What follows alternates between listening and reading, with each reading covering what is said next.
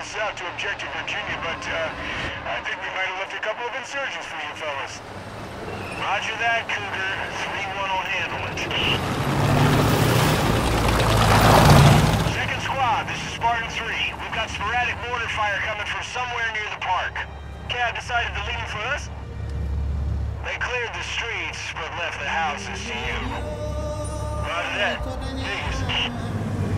Happy fucking birthday, Marines. Like your candy asses get to go to the fair. We got doors to kick and mortars to find.